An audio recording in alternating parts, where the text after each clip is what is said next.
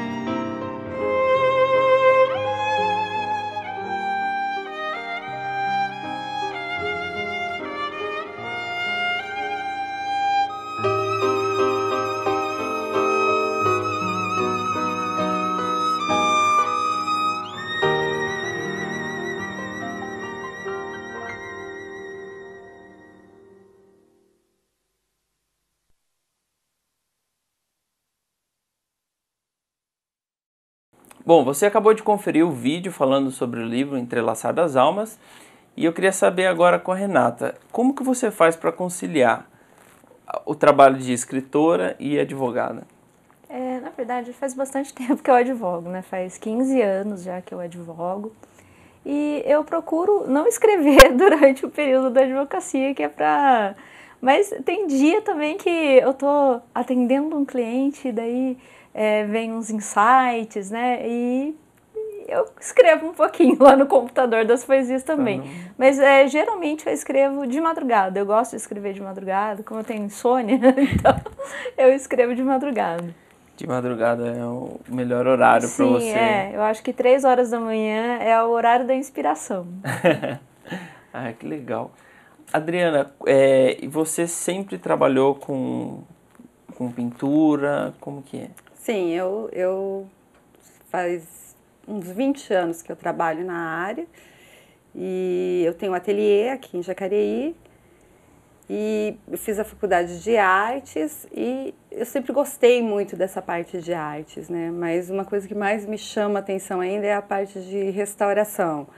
É, são as perguntas que você faz, o que está por trás daquelas peças. Então, juntou as duas coisas, né? E, e a gente trabalha é, mais focado na arte, mas existe um outro lado também, que foi o que está junto com a exposição da Rê de telas. E para falar um pouquinho agora dessa exposição, ela surgiu a partir de um trabalho de pós-graduação, isso? É, na realidade eu quando eu estava terminando a pós-graduação, então eu teria que entregar o meu trabalho de conclusão.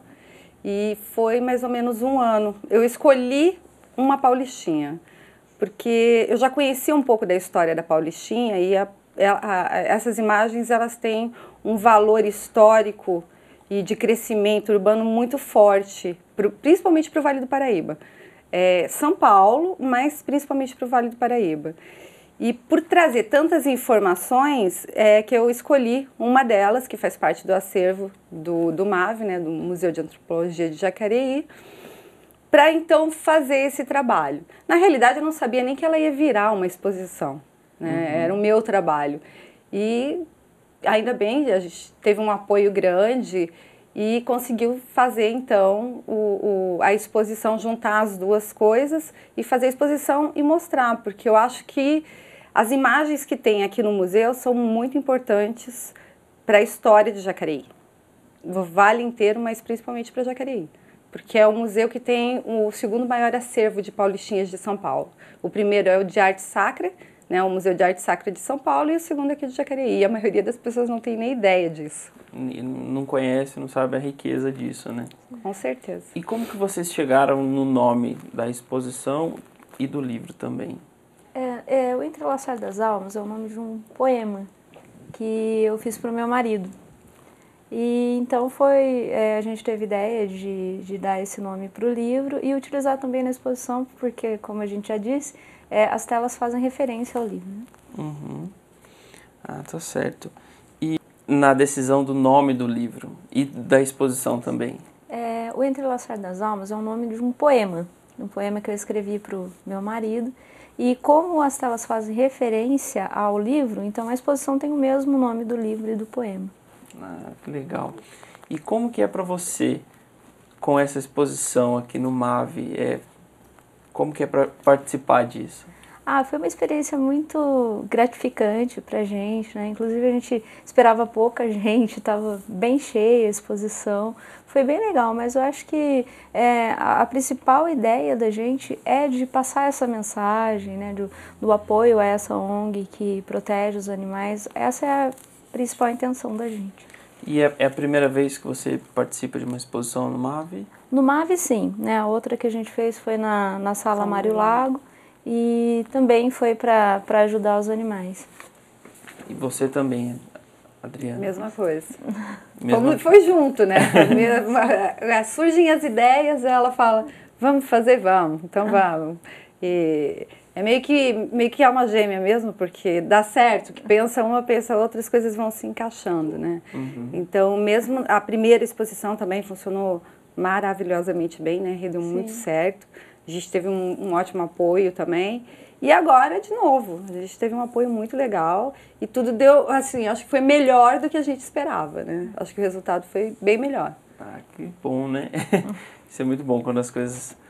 Caminham. É, é, isso é bem legal. E vocês estão com algum projeto futuro, para uma próxima exposição, um próximo livro, alguma coisa? Então, é, todo ano, no final do ano, é, nós fazemos as metas do próximo ano. Uhum. Aí eu, Adriana e um sócio, amigo, a gente senta e faz. E eu disse para ela que eu prometo que o ano que vem eu não vou perturbá-la, porque esse ano foi demais, sabe? Desde março, todo dia eu ligo, todo dia surgem novas ideias. Então, o meu projeto para o ano que vem é exatamente não ter projeto nenhum.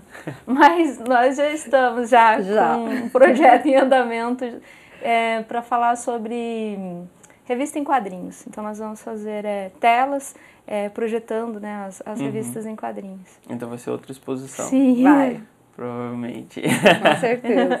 Ah, a gente ainda não, não chegou ao objetivo final, assim, das ideias de como a gente vai fazer esses quadrinhos, uhum. né?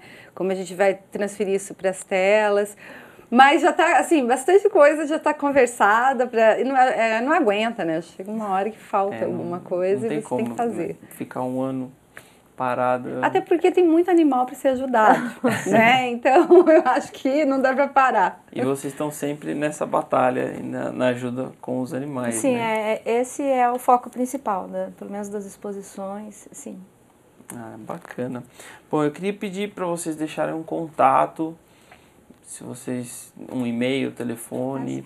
É, eu vou deixar meu e-mail. Meu e-mail ele tem o meu nome de solteira porque é o meu sobrenome de casado. Ninguém sabe escrever, então não receberia nenhum e-mail, né? É Renata Pereira underline Martins arroba hotmail.com. Tá ok. Eu tenho um ateliê no Santa Maria, é Omni Arte. O telefone de lá é 3354 4707. Bom, tá certo. Queria agradecer a presença de vocês aqui no programa, agradecer o bate-papo e boa sorte para vocês no próximo, próximo projeto de vocês. É, nós que agradecemos, inclusive também gostaríamos de deixar aqui nosso agradecimento para a Fundação Cultural de Jacareí e para a Academia de Jacareí de Letras, que realmente eles abraçaram a nossa causa. Aproveita e deixa um convite para o pessoal ir lá conferir a exposição. Ah, com certeza. Por favor, que todos vão aqui no Museu de Antropologia fazer essa visita à exposição. Todo mundo vai adorar, com certeza. Tá certo. Bom, obrigado. Espero que vocês tenham gostado do programa hoje. Não deixe de, vi de visitar e, e conhecer a exposição. E a gente se vê numa próxima oportunidade. Até mais.